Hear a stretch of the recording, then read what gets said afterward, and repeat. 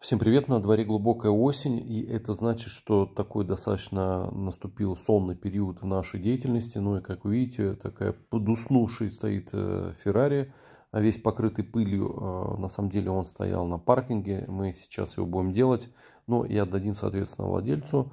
Но это уже другая история. Но в целом а, зима не сезон для нашей деятельности, хотя есть Бентли, есть Мазерати паркетники – ну, кое-что есть, э, но, конечно, летом гораздо плотнее занятость. Ну и сейчас, собственно, есть больше времени активно заниматься запчастями. Но вот э, о некоторых из них сейчас я вам и покажу пару коротких сюжетов. Ну, э, прежде всего, сколько стоят, как они выглядят, почему как они выглядят. Ну, потому что сейчас очень много китайских подделок, но и я по мере возможности стараюсь снимать ролики именно о запчастях, э, потому что все-таки э, при нынешних ценах э, китайцы, они, естественно, очень часто забывают говорить о том, что это запчасти не оригинальные, но и наши недобросовестные продавцы автосервиса, естественно, пытаются все это выдать за оригинал. Но, естественно, потом получается все не очень хорошо. Но это уже, опять же, другая история. И этим заниматься должны какие-то другие люди. Ну и, соответственно, возможно, другие службы. Ну, давайте начнем, э, наверное, вот с такой вот коробочки. Я думаю, вы уже догадались. Э, по некрасивой коробке, как правило, когда некрасивая такая вот коробка, э, скорее всего, там будет дорогая деталь. Так оно и есть. Здесь у нас фара от нового Range Rover. Сейчас вам покажу. Стоимость такой вещи где-то ориентировочно в районе 3000 евро. Ну, в нынешнем курсе это около 300 тысяч рублей. Вот здесь такая памятка на нескольких языках. Но и на самом деле для достаточно дорогостоящей детали, э, для британского бренда, ну, мягко говоря, упаковка выглядит не очень. Картон очень такой слабенький, очень тонкий, мягкий. Поэтому видите, во что она превратилась после дальней дороги. Ну и сейчас э, как раз покажу вам саму фару.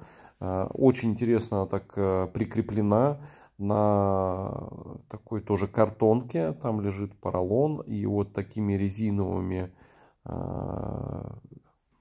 резиновыми резинками, даже задумался, как правильно сказать. В общем, такими вот резинками эта фара прикреплена. В принципе, очень жестко она тут сидит. Ну и вот это вот пломбы на ушах, на креплениях фары. Э, в принципе, тоже достаточно разумно, дабы не было вопросов. Если все это зафиксировать в моменте отправки, то потом вопросов, я думаю, не должно возникать. Ну и по личному опыту, э, в плане упаковки запчастей, на первом месте, я думаю, можно поставить, наверное, Bentley, потом Rolls-Royce, а, потом, а, ну, Мазерати, Феррари, э, как бы там все неоднозначно, но в целом упаковывают хорошо, в том числе и лобовые стекла. Ну, а такие вот уже, типа, послабже, там, Mercedes, BMW, вот, Land Rover, вот видите, во что они упаковывают, э, стекла, так вообще, а почему только в картоне посылают, э, ну, Lamborghini, например, кстати, вот это тоже, наверное, один из лидеров – очень часто все дело забивается в деревянные ящики, я вам показывал эти видео на канале. Но, в общем, э, в принципе, ценник, он э, и упаковка прямо пропорционально, ценник бренда, да, пропорционально, в общем-то, всему остальному. Ну и сегодня у нас, наверное, такая топовая вещь. Я коробочку уже снял. Э, здесь уже такая внутренняя упаковка. Это фара, это фара для Bentley, Bentley Bentayga, паркетник и Попробуйте угадать, сколько может стоить такая фара. Э, но я думаю, что томить вас не буду. Ну, давайте все-таки потомимся несколько секунд. Причем э, у Bentley э, фара состоит из нескольких частей.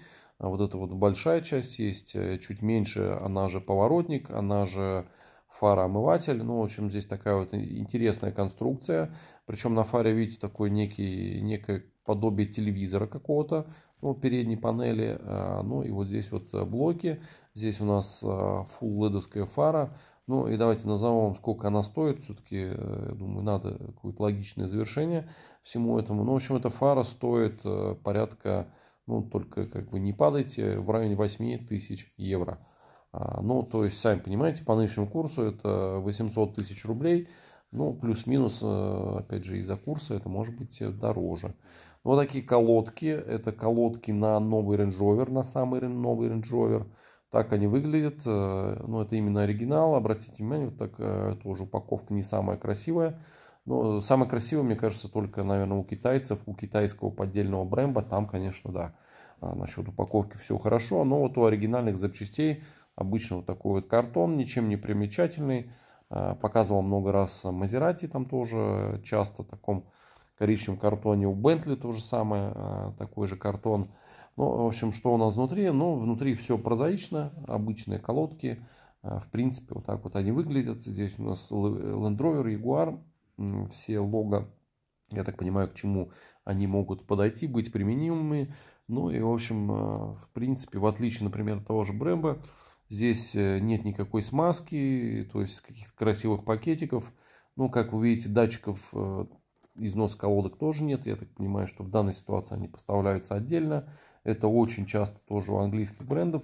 Итальянцы, в отличие от них, конечно, все-таки более рационально подходят. Ну и, конечно, там запчасти будут чуть дороже, но, а, как правило, датчики износа колодок, э, во всяком случае, Мазерати, Феррари, они уже часто инсталлированы непосредственно в сами колодки, но и с этим не надо заморачиваться, ну и, соответственно, китайцам, наверное, меньше работы, но и меньше заработка. Ну, вот эта вот книжечка дежурная, а, которая там находится, ну и, в принципе, все, а, что можно здесь увидеть. Но в целом, вы знаете мою позицию по поводу оригинальных неоригинальных запчастей. Я всегда за оригинал, поэтому берегите себя, свои автомобили, покупайте оригинальные запчасти. Ну и, собственно говоря, когда покупаете что-то дорогостоящее, всегда старайтесь проверять, потому что в нынешнее время это очень важно. Всем пока, я пошел работать.